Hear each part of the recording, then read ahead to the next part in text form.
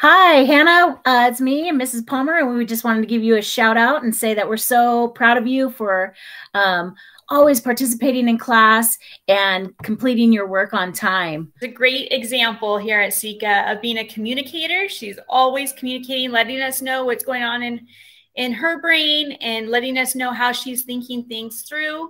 And she's also a great example of being principled. She always does what's right and wants to make sure she's doing what's right, which is huge and will be a, a thing that will help her throughout life to be a good person.